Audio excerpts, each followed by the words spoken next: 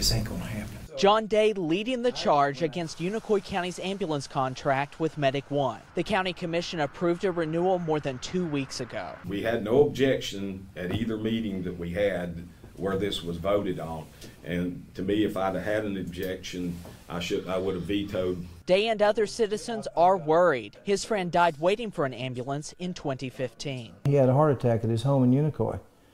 It took Medic One, according to his wife, 40 minutes to get there. Mayor Bubba Evely says he hasn't received any complaints since Medic One received new leadership. He expects better service now that a third ambulance and new performance requirements are in the contract. I think it's uh, going to be a, a, just a vast improvement. It, it will probably run during the days when you have more non-emergency calls. This was a completely ineffective bid process. Day and others are unimpressed. Medic One was the only company to respond to the request for bids. Day says that's because the county sent it to closed email accounts. State law only requires a newspaper ad. Day wants the county to rebid. Evely says it's up to the commission to make that decision. I know that each one, each commissioner takes it ser- that this responsibility seriously about trying to get the, the best contract with the best provider that we can get. In Unicoi County, Caleb Perhne, News 5北。